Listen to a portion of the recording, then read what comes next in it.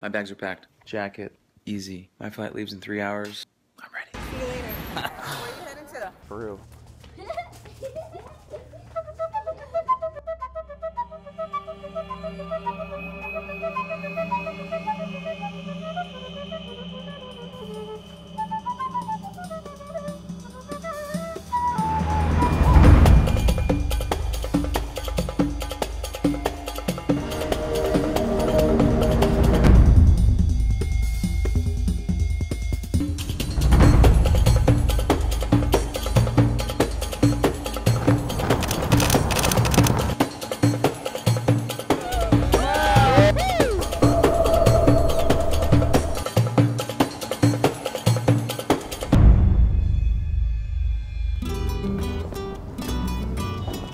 Today was really special.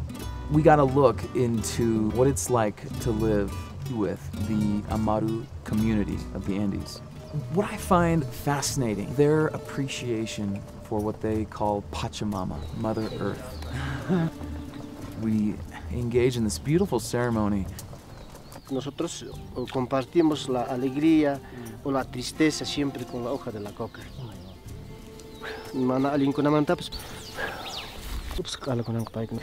Apo yung teta. Okay.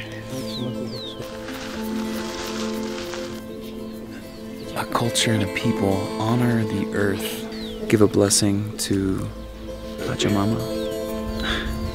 I think we have more to learn from them than they from us. Someone pulls out this big knife. I thought it was gonna get ugly, but we went through the process of making from the wool to the string. All these people are just running around. I see they're scurrying off and zooming one way and the other. What's going on? They were like spiders. They were like moving intricately on this web of their community, knowing exactly what to do. And this this is probably the best souvenir I could get from them, other than a poncho.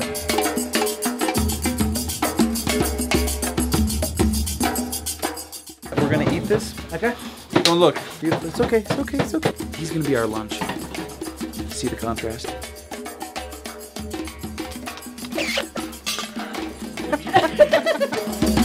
So today we're going to be checking out salt ponds, and uh, there's about 5,000 of these salt ponds.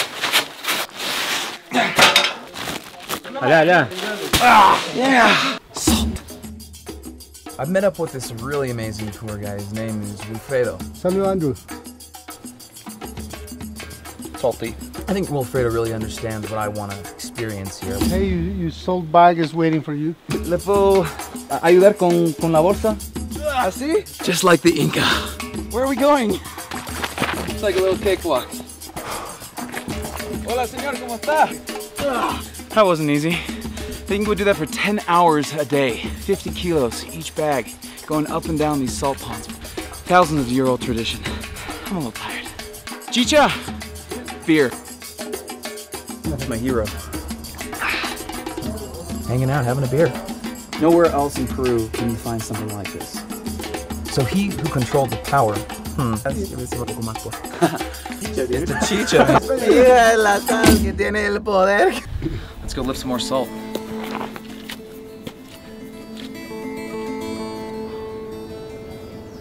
Wow.